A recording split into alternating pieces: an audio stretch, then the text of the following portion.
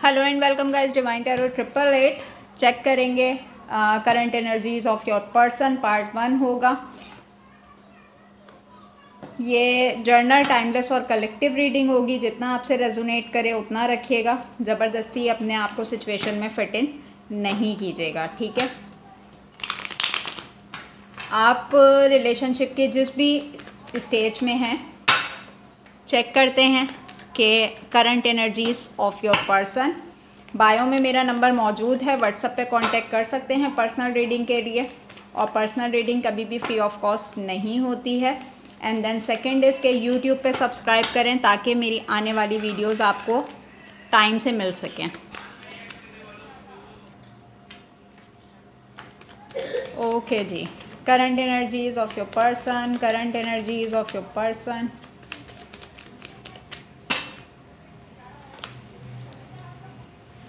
of swords four of pentacles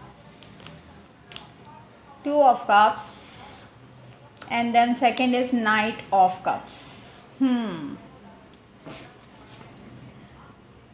Current energies of your person में आ, सबसे पहली चीज़ तो मुझे ये नज़र आ रही है कि आप दोनों नो कॉन्टेक्ट सिचुएशन के अंदर हैं ठीक है? और आपके पर्सन को ऐसा लग रहा है कि आप इस सिचुएशन से वॉक अवे कर गए हैं। उनके माइंड में ये चीज़ चल रही है कि शायद अब आप इस सिचुएशन पे, इस रिलेशनशिप पे और मज़ीद काम नहीं करना चाहते हैं। और उनको, उनके माइंडसेट में ऐसा चल रहा है कि उन्होंने अपनी तरफ़ से इस रिलेशनशिप को बचाने की बहुत एफर्ट की, बट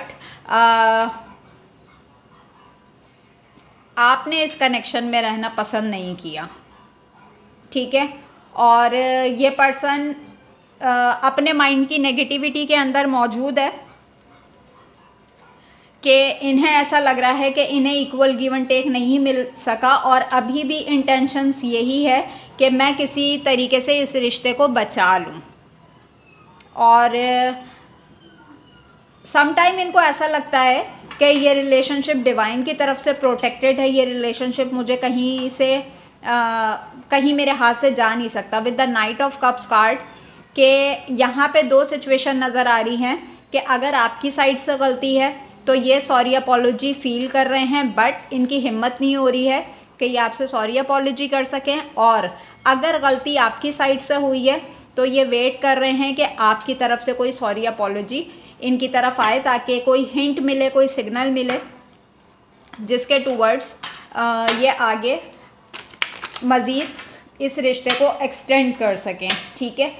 यहाँ पे चेक करूँगी सोल लेवल पे उनकी क्या फीलिंग्स हैं आपके लिए। Please divine please universe please give me right predictions for my viewers current energies of your person okay जी। देखें retreat love yourself fast attraction hmm the last one is flirt इस relationship को retreat करना चाह रहे हैं, वो चाहते हैं कि जो कुछ भी हो गया है, उसको लेट गो करें और इस दुनिया से डिस्कनेक्ट होके कहीं हम आगे की तरफ़ बढ़ते हैं, आगे की तरफ़ चलते हैं। लेकिन अब इस इस इंसान को ऐसा लग रहा है कि जो वैल्यू जो अटेंशन आप इस पर्सन को देते थे अब वो सब कुछ कहीं आपने अपने ऊपर फोकस करना शुरू कर दिया है। अब आपको अपनी सेल्फ रिस्पेक्ट की भी कदर हो गई है। और ये चीज़ आपके पर्सन को आपकी तरफ़ और मज़ीद अट्रैक्ट कर रही है। अगर आपको ऐसा लगता है कि नो कॉन्टेक्ट सिचुएशन में ये पर्सन अगर मैं इस पर्सन को भाव नहीं दे रही हूँ जेंडर स्पेसिफिक है, अपने तरीके से लीजिएगा मेल हैं तो अपने तरीके से लीजिएगा फीमेल हैं तो अपने तरीके से लीजिएगा। तो अगर इसको ऐसा लग रहा है कि आप इसको भाव नहीं दे रही हो और आपके माइंड में कहीं ये चल रहा है कि इस वजह से कहीं ये एनर्जी मुझसे डिटैच हो रही है, जबकि ये चीज़ आपकी इनको और अट्रैक्ट कर रही है आपकी तरफ़ ना।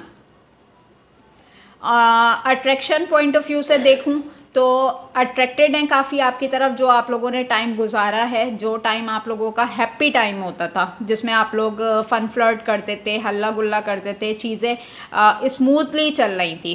तो उस टाइम को रिकॉल करते हुए नज़र आ रहे हैं।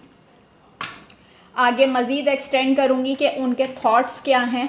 इस करंट एनर्जीज़ में आपके पर्सन के थॉट्स क्या हैं। Please divine please universe please give me a right predictions for my viewers current energies में मेरे व्यूवर्स के पर्सन के थॉट्स क्या हैं?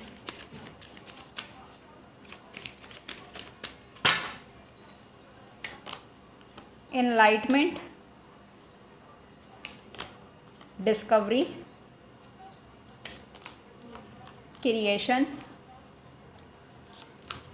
आइसोलेशन देखें, अंदर से एक सोल से जो वॉइस आना होती है ना इस इंसान को कहीं ना कहीं वो वॉइस डिस्टर्ब कर रही है ठीक है? यानी कि ये अपनी अंदर की आवाज़ों से ये इंसान भाग रहा है जबकि ये इस रिलेशनशिप को बनाना चाहते थे क्रिएट करना चाहते थे लेकिन यहाँ पे मुझे नज़र आ रहा है कि इस वक्त आइसोलेशन पीरियड में है और ये वाले तमाम कार्ड्स मैं क्लैरिफाई करूँगी कि अगर आ, इनको किस चीज़ की इनलाइटमेंट हो रही है और